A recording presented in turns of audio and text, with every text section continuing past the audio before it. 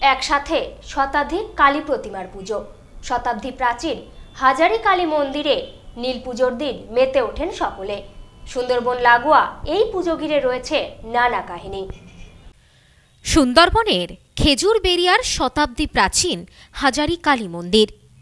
এই মন্দিরে পুণ্যার্থীদের সমাবেশ লেগেই থাকে। তবে চৈত্র সংক্রান্তিতে এই মন্দির অন্য রূপ নেয়। ভক্তের ঢল নেমে আসে এই মন্দিরে।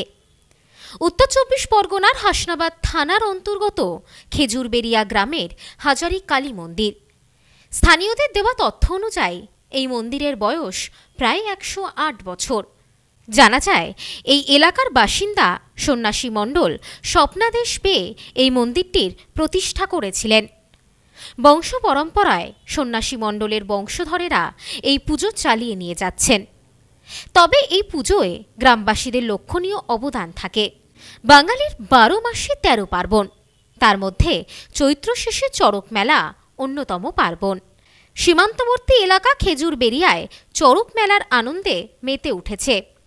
তবে এরই মাঝে খেজুর বেরিয়ার এক অন্যতম আকর্ষণ হল গৌরেশ্বর নদীর তীরে বছরের পর বছর ধরে অনুষ্ঠিত হয়ে আসা ঐতিহ্যবাহী কালী মন্দিরের মেলা। এবছরের এই হাজারি কালী মেলা একশো আটতম বর্ষে পদার্পণ করল। এই মেলার বিশেষত্ব হল, এখানে একটি বা দুটি ঠাকুর পুজো হয় না। প্রায় একশো পঁচিশ থেকে একশো তিরিশটি কালী প্রতিমা একসাথে পূজিত হয়।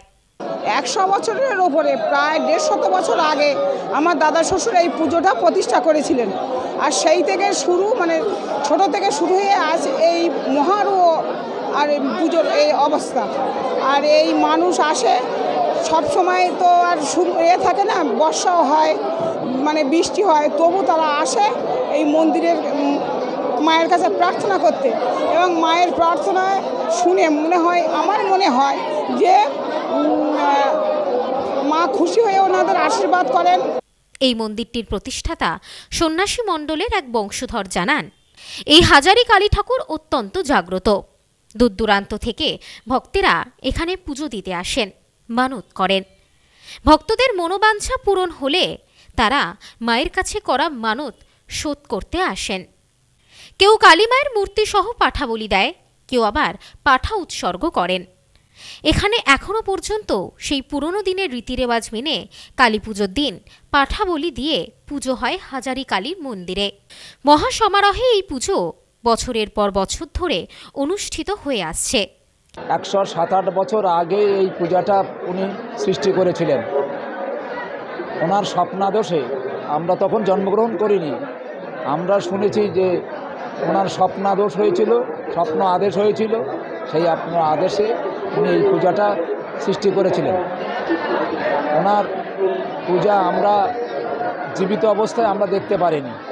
আমরা আমার বাবা পূজা করে গেছেন, তারপরে সেখান থেকে আমরা দুই ভাই আছি।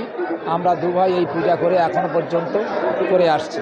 যেসব মানতকারী এবং যারা পুণ্যার্থী, এখানে মানত করে হাজারিকালী মায়ের ওখানে বিভিন্ন অসুখ, কোনো সন্তান হয় না যাদের।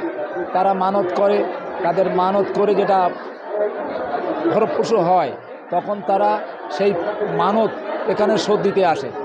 কেউ প্রতিমার সহিত পাঁঠা বলি, পাঁঠা দিয়ে পূজা দেয়, আবার কেবল শুধু পাঁঠা দিয়েও পূজা দেয়। এইভাবে পূজাটা ওনারা দেন। ওনারা যেভাবে মানত করেন, ঠিক সেইভাবে শোধ করেন।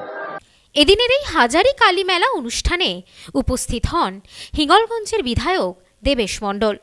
তিনি বলেন, মা, খুবই জাগ্রত। মায়ের কাছে আসুন, কামনা বাসনা করুন। মা, অবশ্যই পূর্ণ করবেন। দোরগোড়ায় আগত বাংলা নববর্ষ। আর তার আগে বছর শেষে চড়ক ও হাজারি কালীমেলা নিয়ে উৎসবের মুহূর্তে মেতে রয়েছেন খেজুর বেরিয়ার প্রান্তিক এলাকার মানুষেরা। Bureau report, news snowman's land, উত্তর চব্বিশ পরগনা।